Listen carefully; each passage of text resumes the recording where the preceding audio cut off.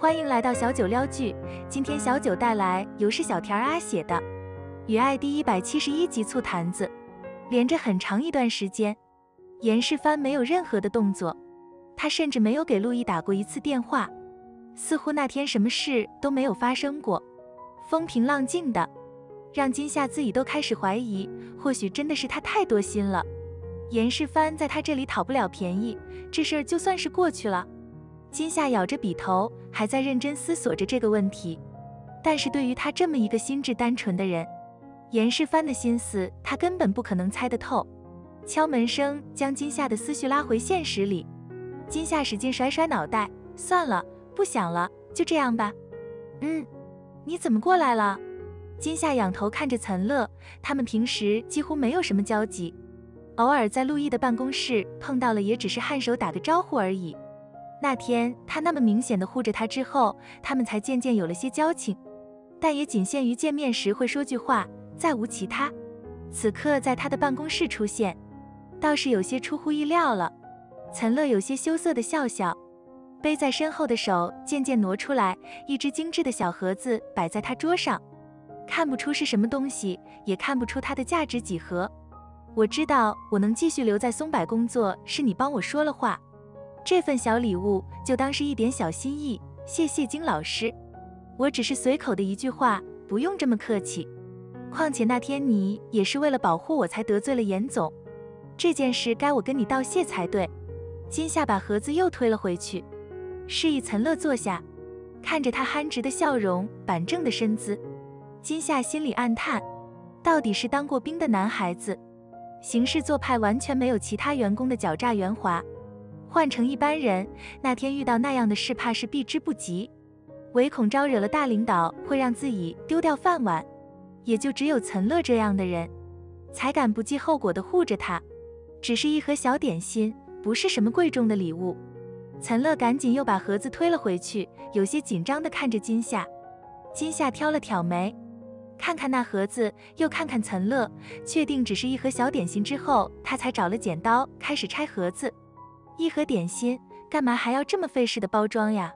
金夏一边说着，一边笑吟吟的拆开盒子。打开之后，他就笑不出声了。的确是一盒点心，但这个盒子出自京城里最好的酒店，这盒点心的价格起码是他三四天的工资。金夏拆着盒子的手慢了一些。却也没有停下，他的一片心意，他不能拒绝。这家的点心的确做得很精致，配上一杯陈皮普洱才最好。走吧，正好你也入职有一段时间了，跟你聊聊天。金夏拿了点心，换到沙发边坐下，柜子里还有陆毅拿给他的菊谱，正好泡上一壶，就着点心解解腻。午后的阳光有些慵懒的暖意，笼着金夏的半边身子，染出一圈柔柔的光。岑乐挺直身板，端坐着，两手乖乖扣在膝盖上，像是随时等待金夏指令的士兵。金夏将泡好的茶和点心一起推到他面前，笑容比深秋的暖阳更令人舒适。来了这段时间还适应吗？和陆总的合作上有没有什么问题？适应，陆总人很好，对我也很客气。松柏的一切都很好，没什么不好的。岑乐握着茶杯，袅袅的茶香。隐约夹杂着金夏身上那股浅浅的气息，一同钻进鼻腔，让他有一瞬的恍神。他低垂眼眸，将茶杯往面前送了送，茶香渐渐掩盖了金夏的气息，他的心神也渐渐安定了一些。金夏颔首，捏着一小块点心，浅尝一口。两人一边吃着点心，一边聊天。金夏很懂员工谈心的技巧，每一个问题都细致的贴合了员工的心思。却又暗藏着明确的目的性，岑乐完全察觉不出金夏的目的性，只体会到他对员工的关怀。陆毅进来的时候，就见金夏和岑乐倚窗闲坐着聊天，不知道是被阳光晒的，还是其他的什么原因，岑乐的耳朵红红的。陆总，岑乐见陆毅进来，立刻放下手里的茶杯，恭恭敬敬地站起身来。金夏抿唇暗笑。刚刚还说不怕陆毅，这会儿一见着他，又像是见着猫的老鼠。陆毅垂眸看一眼茶几的点心，微微颔首。岑乐赶紧和金夏打了招呼，匆匆退了出去。临关门前，悄悄又看了一眼金夏。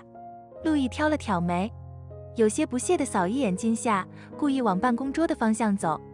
大白天的跟我的司机一起喝茶吃点心，金老师挺有闲情雅致的吗？人家岑乐特地带了点心过来，感谢我替他美颜的。